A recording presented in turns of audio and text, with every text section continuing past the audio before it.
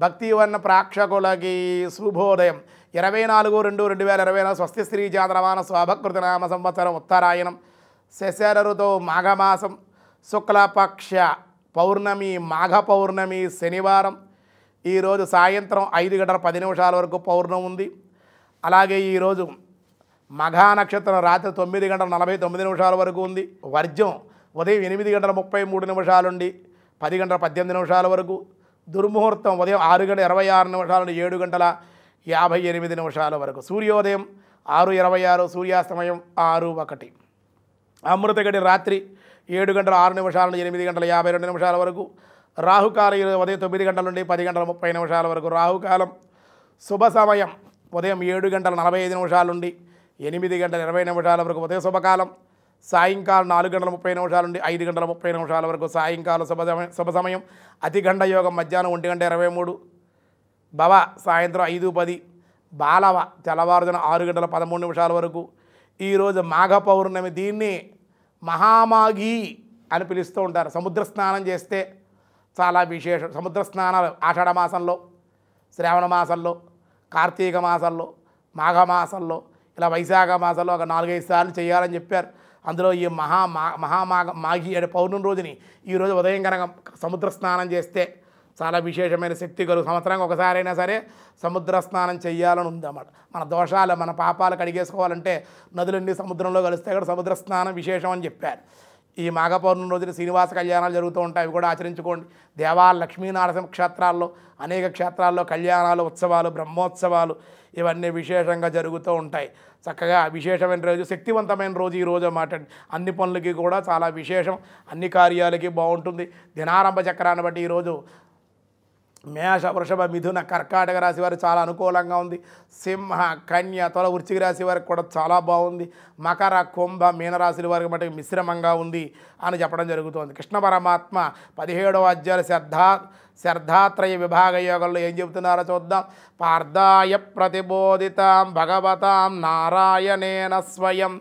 వ్యాసేనాగ్రదిత పురాణమునినా మధ్యే మహాభారతం. అద్వైతామృతవర్షిణీం భగవతీం అష్టాదశాధ్యాయిని అంబా త్వామనుసందధామి భగవద్గీతే భావద్వేషిణి ఆయుస్సత్వఫలమారోగ్యం సుఖం ప్రీతి వివర్ధనం రస్య స్నిగ్ధ స్థిరం హృదయ ఆహారం స్వాతికీ ప్రియ. స్వాతికి మంచి గుణాలు దేవతా గుణాలు కలిగి దేవతా వంశంలో పుట్టినటువంటి వాళ్ళు ఆ గుణాలు కలిగినటువంటి ఎలా ఉంటారయ్యా అంటే ఆయువు మంచి బుద్ధి బలము ఆరోగ్యము సుఖము ప్రీతి మున్నగా కలిగి అభివృద్ధిలోకి వస్తారు వీళ్ళు. పాలు చక్కెర మొదల రస పదార్థాలు వెన్న నెయ్యి మొదలగు స్నిగ్ధ పదార్థాలు ఓజస్సు అభివృద్ధి పరిచేటువంటి స్థిర పదార్థాలు స్వాతిక స్వభావంగా వేడివేడివి రుచికరమైనటువంటివి రసాలతో కూడుకున్నటువంటివి శుచిగా ఉన్నటువంటివి శుభ్రంగా ఉన్నటువంటి పదార్థాలని హృదయ పదార్థాలు స్వాతికులు ఇష్టపడతారు. అలాంటివే తింటారు. మడిగా ఉండాలి ఆచారంగా ఉండాలి శుభ్రంగా ఉండాలి నీట్గా ఉండాలి రుచిగా ఉండాలి. పిచ్చి పిచ్చివన్నీ అందులో పోపుల్లోది కలవకూడదు. ఇలా వీళ్ళు నిలవ తినవరు. అప్పటికప్పుడు వండుకుని తినేటువంటి ఆహారాలు స్వాతిక ఆహారం అన్నమాట. అది కూడా సాత్వికంగా ఉండాలి. వెజిటేరియన్ అయి ఉండాలి. ఇవన్నీ చెప్పారు. భగవంతుడు నివేదన చేయబడి ఉండాలి అది కూడా. అది సాత్విక ఆహారం అవుతుంది. కట్వా మల్లవనా తుష్ట తీక్ష్ణ రూపం విదాహిన ఆహారం రాజసీ శ్రేష్టం దుఃఖశోకమయ ప్రద. ఇంకా రాజసులు ఎలా ఉంటారంటే అన్నింటివి కూడా అంటే చేదు పులుపు ఉప్పు కారము రుచికరమైన పదార్థాలు మిక్కిలి వేడి బాగా వేడిగా ఉండేటువంటివి మాడిన పదార్థాలు దాహం కలిగించేటువంటి పదార్థాలు అంటే అట్లే దుఃఖము చింత రోగము ఉత్పన్నము చేయు ఆహార పదార్థాలు అంటే రాజస స్వభావం కలిగినటువంటి వాళ్ళు అటువంటి వంటి ఇష్టపడుతూ ఉంటారు.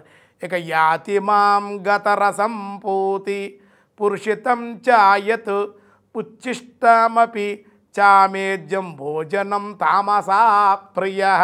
తామస గుణాలు కలిగినటువంటి వాడు అర్ధపక్వం సరిగ్గా సరిగ్గా ఉడికి ఉడకనటువంటివి పదార్థాలు సరిగ్గా ఉడకనటువంటివి రసహీనం రుచి లేనటువంటివి దుర్గంధయుక్తం పిచ్చి పిచ్చి వాసనలో వచ్చేటువంటి దుర్గంధంగా ఉండేటువంటివి పాసిపోయినవి నిన్నడవి మొన్నడవి ఫ్రిడ్జ్లో పెట్టుకుని తింటారే చాలామంది?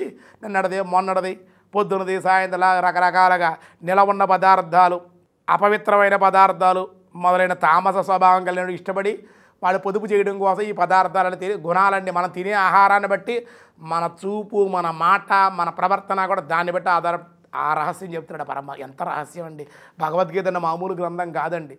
చాలామందికి తెలియటం లేదు. అది తెలియజేయాలనే సంకల్పమే. తెలుగు వన్ భక్తి వన్న కలిగి గురువుగారు ఏదో రకంగా మీరు నా ఖాళీ ఉంటుంది అక్కడ పూజలు బ్రహ్మోత్సవం తొమ్మిది రాష్ట్రాలు తిరుగుతూ ఉంటా. తెలుగు వన్న భక్తి వన్న వాళ్ళ కుదరదు గురువుగారు. మీరు ఏదో రకంగా రెండే శ్లోకాలైనా సరే చెప్పాలని చెప్తే ఎప్పుడో చిన్నప్పుడు చదువుకున్నారని బాబండి లేదు కుదరదు చెప్పాలి గురువుగారు అని చెప్పి వాళ్ళు పట్టుబడితే భక్తులు ఎక్కువ కోరుకుంటున్నారు. చాలామంది విదేశాల నుంచి ఫోన్ ఫోన్లు ప్రవాస భారతీయులు ఫోన్లు చేస్తున్నారు. తప్పనిసరిగా మీరు చెప్పాలని చెప్పి వాళ్ళు కోరితే ఈ విధంగా ఎంత రహస్యం మనం తినే ఆహారాన్ని బట్టి మన మనస్సు మన ఆలోచనలు ఉంటున్నాయంటే ఎటువంటి ఆహారం తీసుకోవాలి మనం? ఈ నాన్ వెజిటేరియన్ మాంస పదార్థాలు తిని ఏం ఉపయోగం అండి? ఒక జీవుని హింసించి హింసతో కూడుకున్న ఆహారం మనం భుజిస్తామా? ఒక ఆవిడ అడిగింది నాకు ఆశ్చర్యం కలిగింది. గురువుగారు మీరు కాశీ హిమాలయాలకి బద్రీనాథ్ అన్నీ వెళ్తూ ఉంటారట కదా? అగోర్లు శవం మీద ఉన్న మాంసం తింటా శవాన్ని తింటారట కదా మీరు చూసారా అని అడిగేది ఒక ఆవిడ. ఏం చెప్పాలి లేరు. నువ్వు తింటలేదా ఇంటి దగ్గర? అడిగారు. నువ్వు ఇంటి దగ్గర తింటలేదా అమ్మా? చచ్చిపోయిన కోళ్ళు కుక్కలు మేకలు గొర్రెలు ఇవన్నీ మీరు తినేయట్లేదా? అవి చచ్చిపోవట్లేదు అవి శవం కాదా? అవి శవంలా మీకు అనిపించటం లేదా? వాళ్ళకి అలా అనిపించటం లేదు. వాళ్ళ తినరమ్మ గోరులు అనేటువంటి వాళ్ళు గురువు శిష్యుడిని పరీక్ష పెట్టడం కోసం వీటి స్థాయి ఏ స్థాయిలో ఉన్నాడో తెలుసుకోవడం కోసం అగోరుని వాళ్ళు ఆ విధంగా టెస్ట్ చేస్తే వాళ్ళు చిన్నది రుచి ప్రసాదంగా తీసుకుంటాడు అది కూడా వాడికి ఏం జరగదు. అది కూడా ఎవరో ఏ గురువో గారు పరీక్ష పెట్టడు అలాగా. అలా ఎవరో తినరు. సాధన మట్టికి చేస్తారు. శవాల మీద కొంచెం జపం చేస్తారు వాళ్ళు. వాళ్ళ సాధన అది. అదే తప్ప అలాంటి పనులు ఎవరో చేయరని చెప్పారు ఆ విధంగా ఉంటుంది ఉంటారు. జనాలు ఎలా ఉన్నారంటే వాళ్ళు తినేవేమో ఇవి శవాలే. ఈ కోడి శవం కలిసి చచ్చిపోతే శవం అవ్వదు అది? అది ఎంత బాధపడుతుంది? అలా ఈ మేకలు గొర్రెలు కుక్కలు ఇవన్నీ తినేయట్లేదా? ఇంకా మొన్న ఒక ఆయన చెప్పారు ఎంత తింటే అంతట. అందులో అందులోకి వెళ్తే గవర్నమెంట్ అధికారులు పట్టుకుంటే కుక్క మాంసం అమ్ముతున్నట్టు వాడు బిర్యానీలో వేసి. అది చెప్తుంటే వింటుంటేనే నాకు అసలు చాలా బాధ కలిగింది అసలు జుగుప్స కలిగింది అన్నమాట కాబట్టి అలాంటి పట్టుబడ్డాడు వాడు. అంటే ఎలా- ఎలాంటి వస్తువులు తినేస్తున్నారో బయట మీరు ఒకసారి ఆలోచించుకోవాలన్నమాట. కాబట్టి ఎటువంటి ఆహార శుభ్రంగా ఉన్న నీటి కూడా పురాతనంగా మన పెద్దల నుంచి మన తాతల నుంచి తండ్రుల నుంచి ఏ ఆహార పదార్థాలు వండుకు వాళ్ళు తింటున్నారో అవే మీరు తింటే మీ పిల్లలకు కూడా అవే అలవాటు అవుతాయి. మీరు ఒకటి తినే పిల్లలకి ఏమో పిజ్జాలు బర్గర్లు బయట అలవాటు చేస్తే వీళ్ళ శరీరాలు వ్యాధి నిరోధక శక్తి ఎలా వస్తుందండి వీళ్ళకి? ఎలా వీళ్ళు శక్తిని పొందగలుగుతారు? మళ్ళీ వాళ్ళ పిల్లలకి ఎలా ఇస్తారు? మన పిల్లలకి ఏం ఇవ్వాలి? ఆరోగ్యాన్నే ఇవ్వాలి. మన ఆరోగ్యం కాబట్టి మన పిల్లలకు ఆరోగ్యం మన మంచి అలవాటు అంటే పిల్లలకు అవన్నీ వస్తాయి. ఆ వంశపారపర్యంగా రావాలి తా పిచ్చి పిచ్చివన్నీ తినేసి పిచ్చి పిచ్చిగా ప్రవర్తిస్తే మీ ప్రవర్తన కూడా పిచ్చి పిచ్చిగానే ఉంటుంది. అని కృష్ణ పరమాత్మ ఏ ఆహారం తినాలి ఎలా తినాలి ఎలా తింటే ఎలాంటి తినే వస్తువులు తింటే ఎలాంటి వాళ్ళు ఎలా ఉంటారో కూడా అతి రహస్యాన్ని చెప్తున్నారంటే మామూలు విషయం అనుకుంటున్నారా ఇది? అందుకే విదేశీయులు కూడా భగవద్గీత పరిశోధన చేసి వాళ్ళు కూడా నేర్చుకుని చదువుకుని ఈ విధంగా మంచి మార్గంలో మన హిందువులు హైందవ సాంప్రదాయంలో ఉండేటువంటి వాళ్ళు ఎలా ఉంటారో ఆ విధంగా నడుచుకోవాలని వాళ్ళు మన ప్రా- సాంప్రదాయాలు మన పద్ధతులు మన అలవాట్లు వాళ్ళు అలవాటు చేసుకుంటే మనం ఏం చేస్తున్నాం? ఇవన్నీ విడిచిపెట్టేది మనకేది తెలియనట్లుగా వాళ్ళ సాంప్రదాయాలు వాళ్ళ దుస్తులు వాళ్ళు ఏర్పాటు చేసుకుంటూ ఉన్నారు. చాలా ఆశ్చర్యం. ఇప్పుడు జనవరి ఫస్ట్ ఉంది చూడండి. జనవరి ఫస్ట్ ఏమన్నా మనం చేసుకోవాలా? అది అవసరమా మనకి? ఉగాది చేసుకోవాలి. ఆ ఇంగ్లీష్ వాడు చేసుకుంటాడు అది. మనం ఏం చేస్తున్నాం? జనవరి first wish happy new year కేకులు కోసేసి అసలు తల్ల కూడా కోసి పాడేసి యాక్సిడెంట్లు చేసుకుంటూ అందరినీ గుద్దేసుకుంటూ తాగేసి ఉన్మాదంలో ఏం చేస్తాం మనకు తెలియక కన్నబిడ్డలు రోడ్డు మీద చచ్చిపోయి తల్లిదండ్రులు బాధ భరించలేకుండా ఉన్నాం. ఇలాంటి పనులు ఎన్నో అది ఇంగ్లీష్ వాడు ఉగాది పండుగ చేస్తాడా వాడేమన్నా? చేయడు కదా?